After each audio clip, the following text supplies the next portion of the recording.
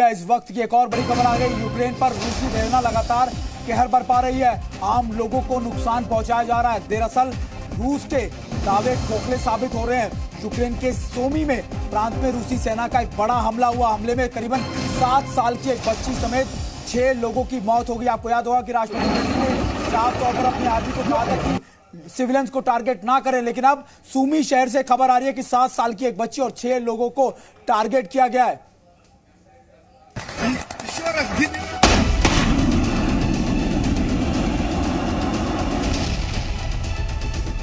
चार दिनों से यूक्रेन पर रूस की सेना हमलावर है। रूसी टैंक यूक्रेन की सड़कों पर तबाही मचाते नज़र आ रहे हैं। रूस की टैंक रेजिमेंट के सामने यूक्रेन की सेना कमज़ोर पड़ती दिख रही थी। लेकिन अब यूक्रेनी सैनिकों ने रूसी टैंकों को जवाब देने के लिए एंटी टैंक जेवलिन मिसाइल निकाल ली है। कंधे पर इस मिसाइल को लेकर यूक्रेनी सैनिक रूसी टैंकों को निशाना बना रहे हैं।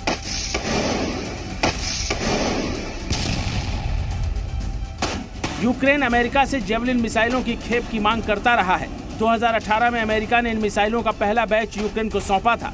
2019 में यूक्रेन ने अमेरिका से दूसरी खेप भी मांगी थी। अब जबकि यूक्रेन रूस के खिलाफ जंग के मैदान में है तो उसने अमेरिका से और जेवलिन मिसाइलों की डिमांड की है।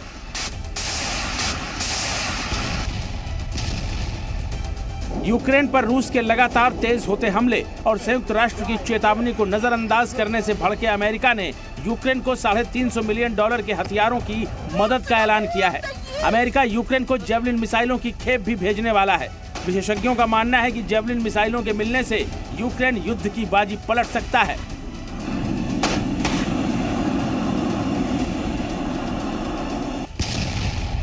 एंटी टैंक जेवलिन मिसाइलें दुनिया की सबसे एडवांस पोर्टेबल एंटी टैंक मिसाइलों में से एक हैं।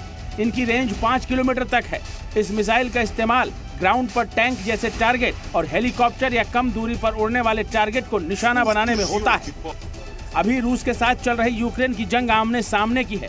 वर्तमान स्थिति में जब रूसी टैंक यूक्रेन की इमारतों से घिरी सड़कों पर नज़र आ रहे हैं तो ये मिसाइल बेहद अहम साबित हो सकती है।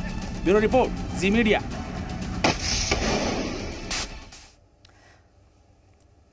और